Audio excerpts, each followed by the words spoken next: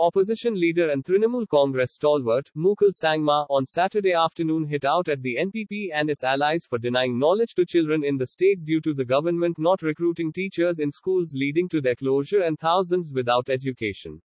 He made the statement during a discussion while campaigning for the Rongjeng candidate of the party, Sengnam M. Marak. Marak is a former MLA of the constituency and was in the village of Rongchek Akong to garner support for his candidature for the upcoming elections.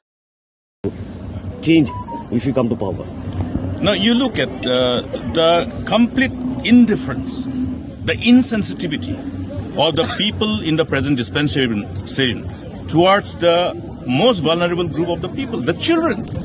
The children for whom we have promised to provide access to quality education. You look at our overall constitutional obligation and then the resultant law that has been passed. You know, what is the right to education talks about?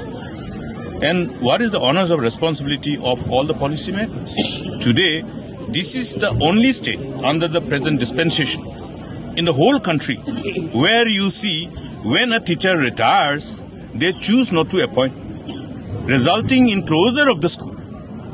It is illegal, it is unconstitutional. Now, do you even imagine that this kind of insensitive people can be vested with the responsibility of governance in the future? I'm sorry. This is something which is just too much, something unacceptable. What exactly are they trying to do? What is their priority therefore? If even the tiny tots in the remotest part of the villages, remotest part of the state, are deprived of their access to knowledge, access to education, the basic primary education. Three, I think, will be okay for now. You, know, you do more in the next thing.